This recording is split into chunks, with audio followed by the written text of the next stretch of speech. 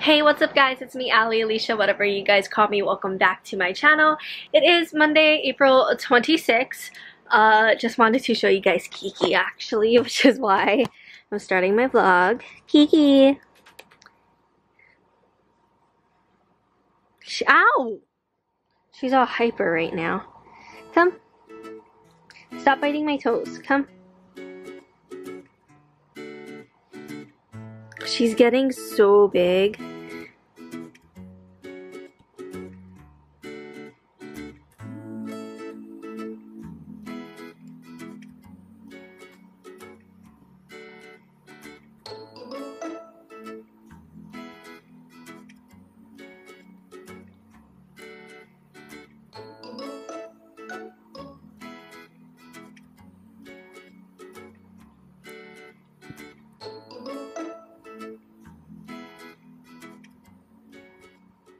Okay, press the wrong button. Um, pretty soon it's going to be time to take her to get her first set of vaccinations. She's getting older and like, excuse my fat and everything, but she is getting so big. Look at her. She's crazy. Her eyes aren't blue at all anymore. Um, they're green and I think they're going to stay that color. Say hi to Callie. Hi, Callie. How you doing? Rough day, huh? Are you a princess? You're the princess of the house. Oof. What the heck am I doing? What is this? Oh, okay. But um, yeah, pretty soon she's going to be old enough to get her vaccinations. And once she reaches two pounds, she can get fixed at the Humane Society uh, or Cat Friends, I think. Um, a lot of vets don't do uh, fixes until they're like I don't know six months old, which I think that's far too long for wait to wait for cats because they can start re reproducing as early as four months, I think. But yeah, she's so tiny. Where is she? Where is she? Kiki. She is doing so well. She is absolutely crazy though. I don't know if I can handle this. Just kidding. She's a good girl but at the same time, she is crazy and this is quite the adventure having her. Come here. She doesn't like being carried still. Yeah. See? She doesn't like being carried. We're we're still working on it. We're gonna do Purrito time again later today, and I will show you guys Purrito time with her. What are you doing? I'll show you guys Purrito time with her, and hopefully it'll don't chew that. Okay I'll get back to you guys in a little bit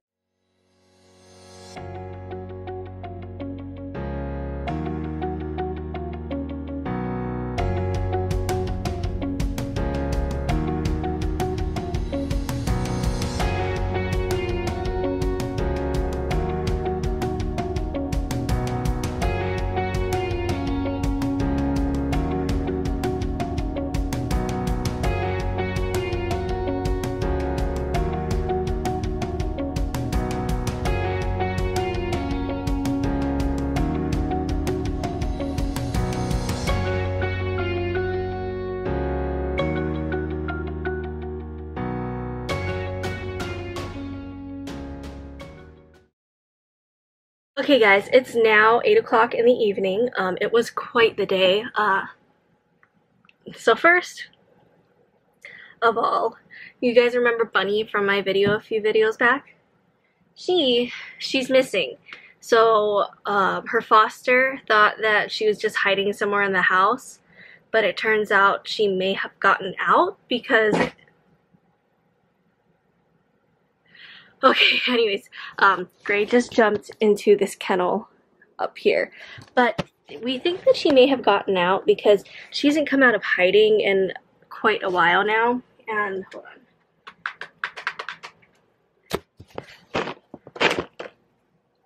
But yeah, so she hasn't come out of hiding in like all day. She hasn't eaten breakfast or anything, so we don't think that she's hiding anymore at this point. We think that she got out of the house.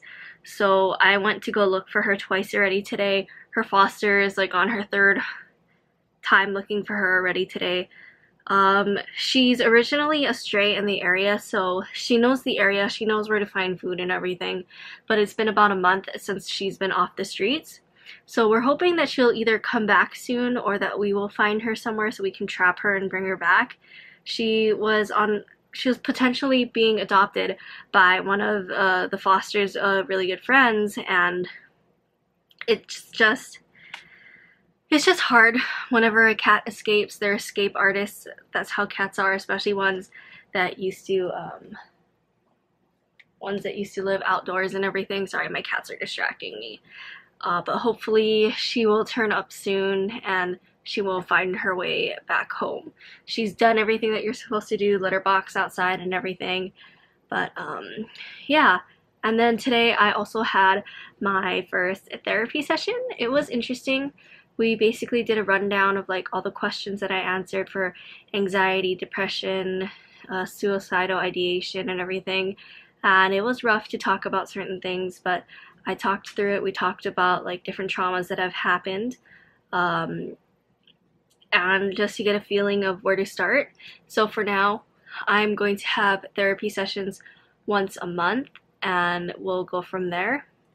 We already have set a, uh, like a few goals of what is like what we're expecting to get done first and then my therapist also said that she will have some homework assignments for me to do which I really absolutely don't mind. I think it's really important to um, have things to do to get things done you know like i'm a hands-on learner to like get past things and everything and learn new things. I don't know what my cats are doing but um, i'm really excited for this new journey in my life. And it was an hour long session and it was it was just rough some of the things I don't know where she thinks she's going she's trying to climb fit her head through the wires of the kennel, but she's just not gonna fit. Uh, she distracted me. But yeah, um, first therapy session wasn't bad. Looking forward to the next one. I'm just a little tired. Uh, I rewarded myself after the therapy session with a Panda Express plate and a cookie. I didn't eat the cookie yet, but um, usually after, like, it's just something that I've kind of done, and maybe that's why, like, I eat a lot or something, but usually will uh, I will um, whether it's like an MRI scan or some type of really big doctor's appointment, I usually go out and celebrate with one of like with a food I like eating or something like that. So that was kind of what it was for today. I was extremely nervous for this first therapy session, even though it was kind of more like a get to know you and where should we start kind of thing. It it was just outside of my comfort zone, but I'm really happy that I did do it. Um, but I think that's going to be it for today's vlog. I'm kind of tired and I am going to go out to look for Bunny again. So I'm just going to leave the vlog off where it is. So Sorry if the energy is kind of low too. Um, anyways, don't forget to like, comment, and subscribe. Hit the notification bell if you'd like to see more of my videos in the future. And I will see you guys again soon for another vlog.